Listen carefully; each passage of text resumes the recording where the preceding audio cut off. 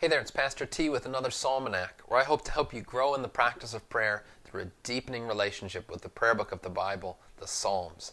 And this week we are reading, reflecting upon, and praying back to the Lord Psalm 146.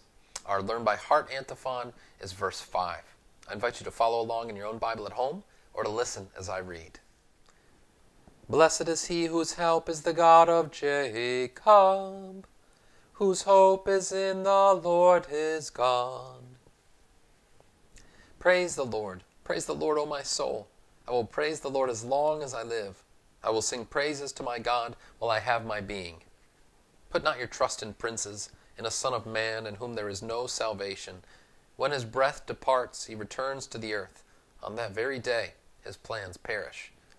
Blessed is he whose help is the God of Jacob, whose hope is in the Lord his God who made heaven and earth, the sea and all that is in them, who keeps faith forever, who executes justice for the oppressed, who gives food to the hungry. The Lord sets the prisoners free. The Lord opens the eyes of the blind. The Lord lifts up those who are bowed down. The Lord loves the righteous.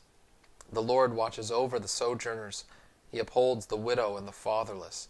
But the way of the wicked he brings to ruin. The Lord will reign forever and ever your God, O Zion, to all generations. Praise the Lord. Glory be to the Father, and to the Son, and to the Holy Spirit, as it was in the beginning, is now, and will be forever. Amen. Blessed is he whose help is the God of Jacob, whose hope is in the Lord his God. Blessed is the one whose help and hope is the Lord, because the Lord can actually take it. Psalm 46 enjoins us, like so many of the Psalms do, to put our trust in the Lord. But it makes an interesting contrast because sometimes we just have those calls to trust in God because He is worthy of all praise and, and worthy of our confidence. But Psalm 146 goes one step further and says, Who not to put your trust in.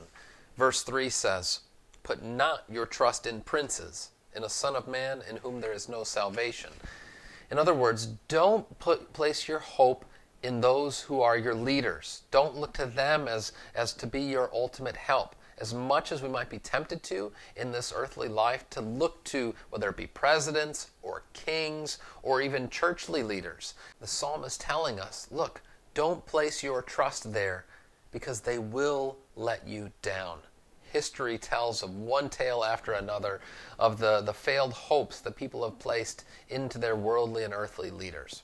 To the contrary, put your trust in the Lord. Let Him be your hope and your help because He can actually bear that weight, the burden of our leadership and all of our hopes and fears. And I love just the, the way that Psalm 146 rattles off. The Lord sets the prisoners free. The Lord opens the eyes of the blind. The Lord lifts up those who are bowed down. The Lord loves the righteous. He executes justice for the oppressed. He gives food to the hungry. Now, as you're saying that and as you're praying that, I hope that that has resonance for you with another one, not a mere worldly prince or a mere earthly son of man, but indeed the Son of Man, the Prince of Peace.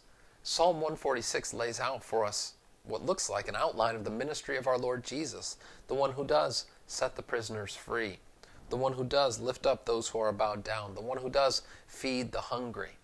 See, Christ Jesus is the one who comes and says, Come to me, all you who are weary and heavy laden, and I will give you rest. Take my yoke upon you and learn from me, for I am meek and humble of heart. My yoke is easy, and my burden is light. Our Lord Jesus is able to take the burdens of all of our hopes and fears. He is our help in time of need, and He is the one to whom we ought to look in all of our trials. Look, in this world that's so tempting to want to look to governments, to look to pastors, to look to any number of peoples to be the source of our confidence and security, but ultimately we can find that in God alone. So as we pray Psalm 146 this week, let's pray for our leaders. Let's entrust them to God's care and ask for them to be godly, righteous guides throughout this earthly sojourn.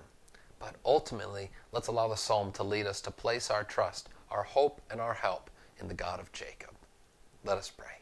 Dear Father in heaven, we thank you that you sent your Son Jesus, the Prince of Peace, who comes and whom all the hopes and fears of all the years are met. Lord, we pray that we would look to him to be our help And we do pray, Lord, that you would lead and guide leaders of this world, our government, our president, and all those whom you have appointed to provide leadership in this age. Lord, we pray that you would uphold them with your strong right hand and that we would honor them as it is fitting for God's people to do. We pray all this in Jesus' name. Amen. And now may you go forth this week looking to the Lord who is your help and hope. Go in his peace. Amen.